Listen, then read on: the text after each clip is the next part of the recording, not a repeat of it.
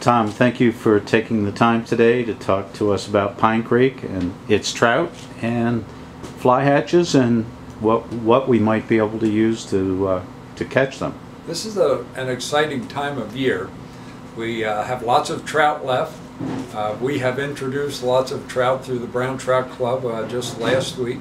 The state is going to introduce more trout, so we won't have a shortage of trout. Uh, Mother Nature just gave us two inches of water, so that should resolve uh, the water problems.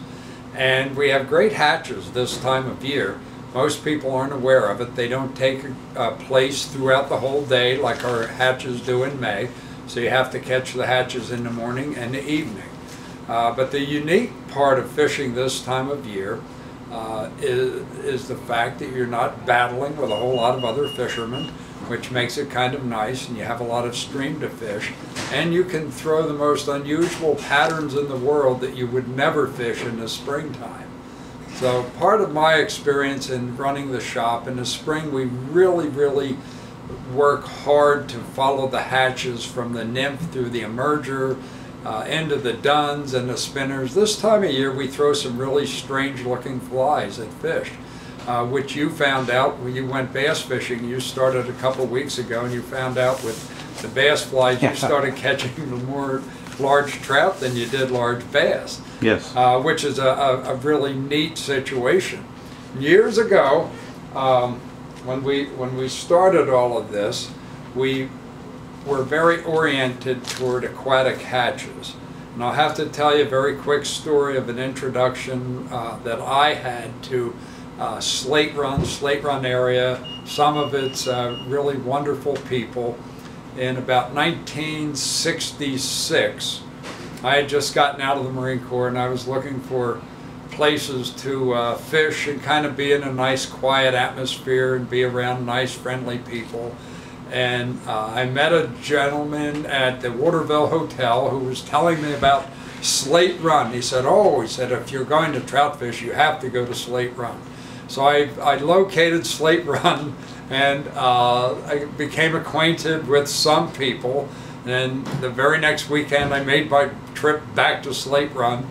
And I was fishing behind a hotel. And in those days, we, we all wore those crazy glasses with the little slits in the eyes and little shades over it. And we fished 7X Luxor tippet, and which you changed about every third cast because it would spin on you and I was fishing and there were two gentlemen behind me obviously trying to crawl in under my skin. I was making every attempt to ignore them. And I was catching trout, very proud of myself on my wonderful seven and a half foot bamboo uh, Orvis Battenkill fly rod. And every time I'd catch a trout, they'd make a remark. Look at that, he's got to be a small fish expert. No one could fish in that many large fish and keep catching small fish.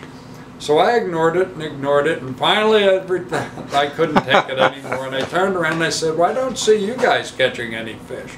And the ones looked at me and made direct eye contact and said, "Would you like to?" And I said, "Yeah, I, I would, as a matter of fact." And he got up off the bench and he strutted over, grabbed my Battenkill fly rod out of my hand, picked up the, my tippet, looked at my size 22 midge, tore the 7X midge and all, threw it out in slate run, reached in his pocket, pulled out this giant ant that was probably on a number 12 3X long hook, tied a knot in it, cast it out. The first one he's drifting down, hooked the fish, put the rod in my hand and said, looked at him and said, that's the way we fish. And I'm looking back at him and I got the nicest trout on that I had all day. And he walked away and they went back down and they were laughing and saying, well, do you like catching trout like that? Although we know that you're an expert, you go after the small fish. Do you enjoy that? I was just really stunned because I found out these people weren't trying to get under my skin just to be idiots. They, they wanted to join my fun. And they wanted to see me have more fun by catching larger fish. And uh, that was a friendship of, uh, that lasted for many, many years. Both of those gentlemen have passed away now uh, Jim Emery and Freddie Hocker. Wow. And they were wonderful, wonderful people. Uh, they went out of their way that day to get my attention and uh, introduced me to something that I wasn't aware of. And you took it the right way. I took it. I took it the right. At first, I was annoyed with them, and I thought, no, you know, we uh, in the service, I um, I I was just kind of tired of the military type confrontational uh, uh, conflicts that you're in all the time, and that was just the beginning of Vietnam, and I had gotten back before we were officially there, and all I wanted to do was go trout fishing without confronting people.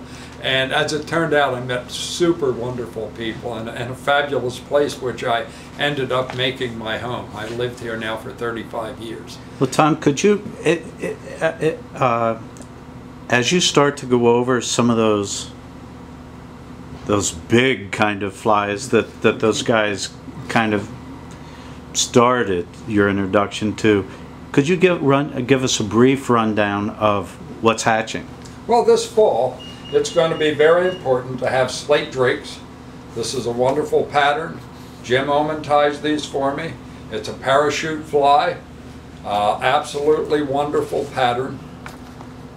We've produced thousands and thousands of dozens of this particular fly. And it's just, it's a, it's an incredibly durable pattern and very, very effective. That is probably one of the most important patterns.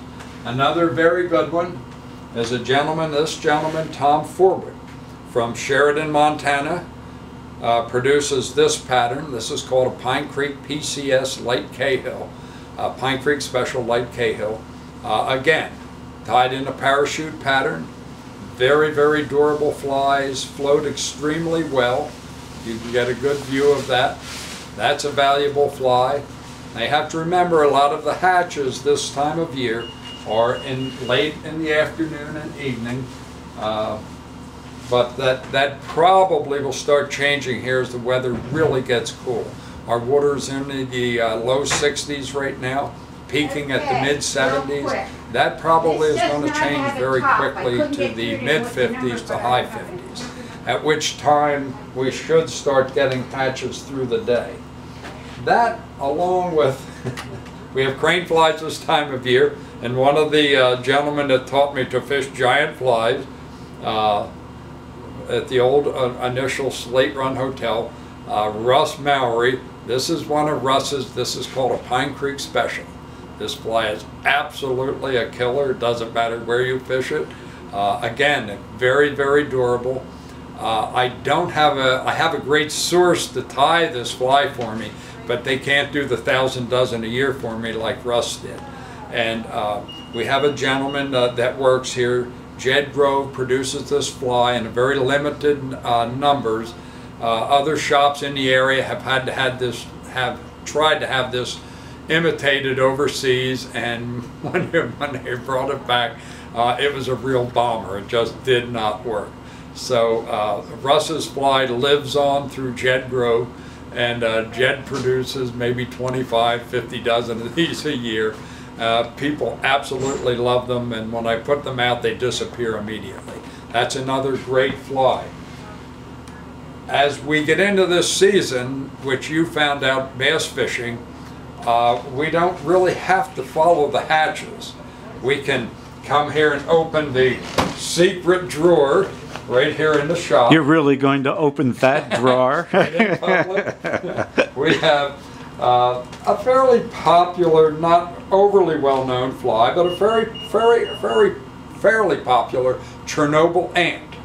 The Chernobyl ant uh, is a western pattern uh, designed to fish the big heavy runs in the western rivers. Works wonderful on Pine Creek. Um, we have the big-eyed hopper, and again, you look at these and you'd think, are you really telling me that you can catch trout on that thing in Pine Creek? Uh, yes, we are, and you can catch a lot of trout. And generally, when you catch trout on this guy, it's a very nice fish. Uh, they we were put they were put in as bass flies, and we found out they're wonderful trout flies. Probably the the sleeper in all of it is the psycho ant. The psycho ant is an extremely neat pattern which we put in to catch bass.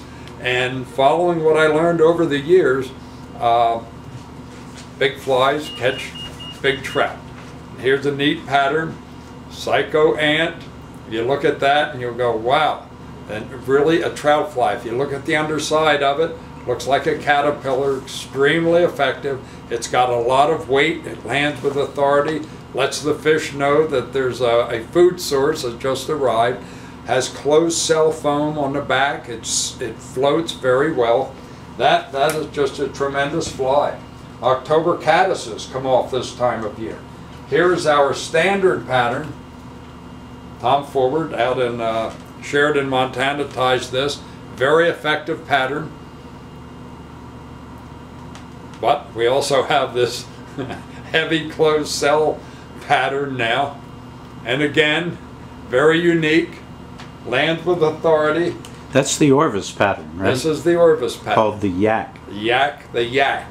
And again, a just a, a surprisingly good fly.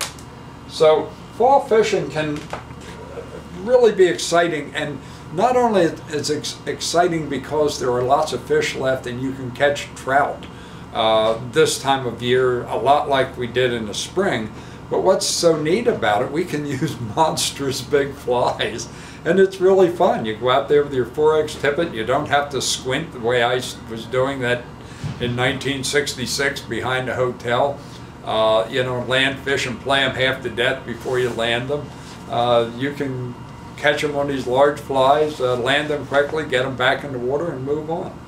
Tom, unless we have flood conditions, uh, and these hatches keep going like this, well, we have the psycho, so that we don't need that to hatch. But uh, I'm really thinking about fishing all the way to Christmas. I think we have a, a good opportunity at this point. Uh, we've been going into these uh, warming weather conditions. Uh, last year, you could fish well into December without a problem. So we'll see what happens. Just because you get an early snow, it melts and it's out of here.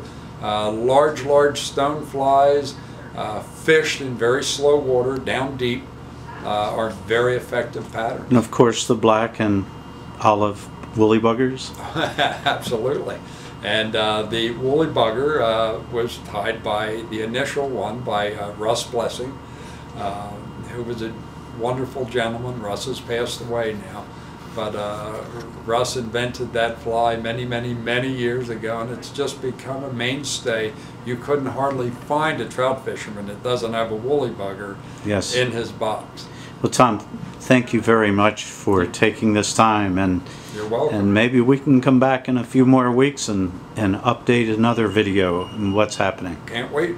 Thank you again. Yep, see ya.